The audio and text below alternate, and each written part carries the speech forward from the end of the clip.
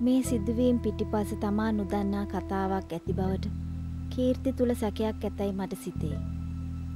නමුත් මා කෙරේ ඇති ආදරය නිසා ඔහු ඒ ගැන මගෙන් අසන්නේ නැත.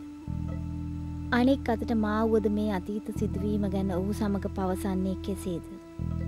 මන්දයත් මාද කීර්තිට මගේ මුළු ජීවිතයටත් වඩා ආදරය කරන හේනි.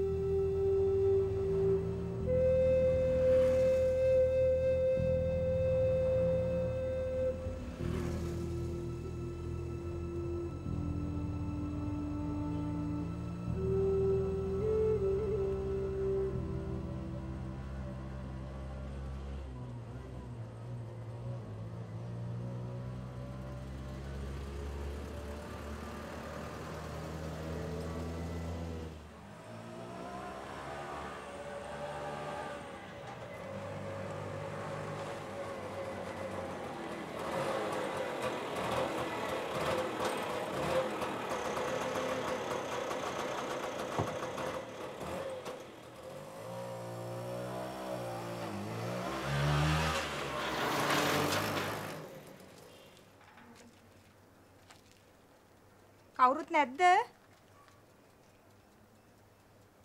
කවුරුත් නැද්ද?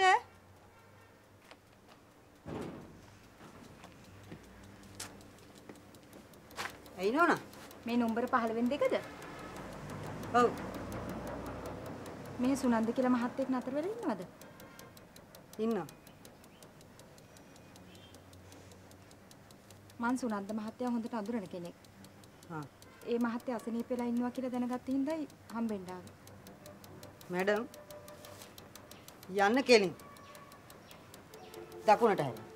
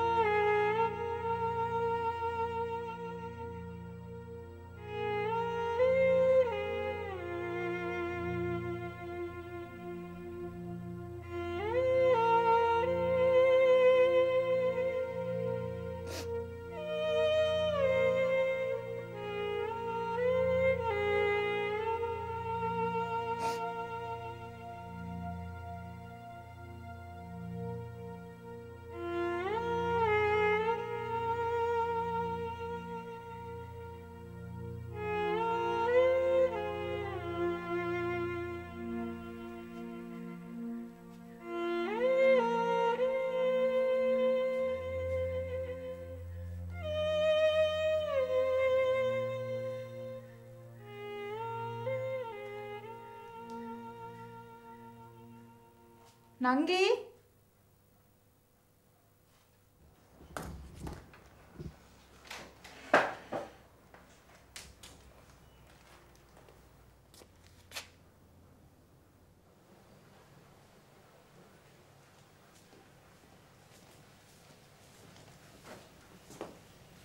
ඇයි මේ කට්ට ගහන්නකෝ. ඔය අදත් සුනන්දයි හම්බෙන්නේ නැද්ද? ඔව් ඇයි? මම නම් කැමති නෑ ඔයා හැම වෙලේම සුනන්දයි හම්බෙන්න යනවට. ඒයි ඒ ඇයි කියන්නේ? බණ්ඩාරාගේ දැනගත්තොත් එහෙම නැති ප්‍රශ්නත් ඇති වෙයි. ඒ මොනවටද ප්‍රශ්න ඇති වෙන්නේ?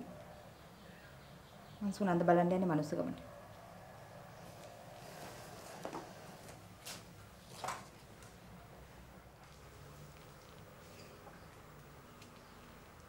සුනන්ද ලෙඩ වෙලා තියෙන බීලා වැඩිකමට.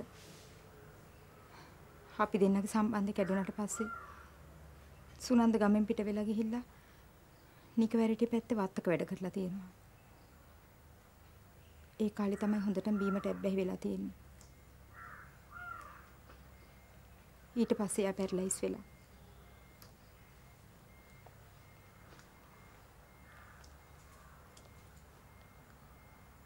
ඒකට කමක් නෑ. දැන් ඒ හැම දෙයක්ම අතීතයට එකතු වෙලා ඉවරයි අක්කේ. දැන්වත් ওই ගමන නතර කළා දාන්න. එහෙම කොහොමද කරන්නේ? සුනන්දට වෙච්ච දෙයට මාත් වග කියන්න ඕනේ. ඒ අමාව කසාද බැන්දනම් එයාට මෙහෙම වෙයි කියලා ඔයා හිතනවද නංගි?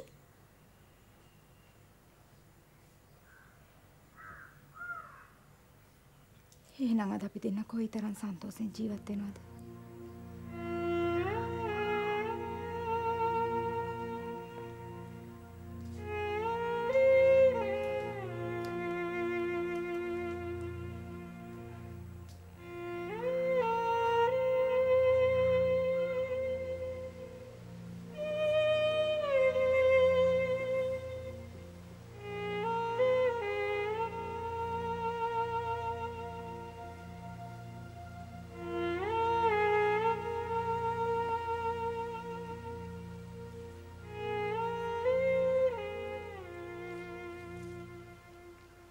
සරෝජි මොකෝ? මුකුත් නෑ.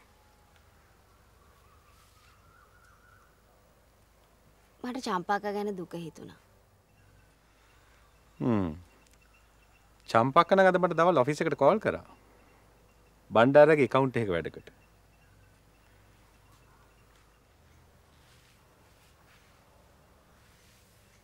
චම්පක්ක හිතාගෙන ඒගොල්ලෝ ඇගේ විකුණන්න මම හිතේ. පන්නි පිටියගේ හ්ම්.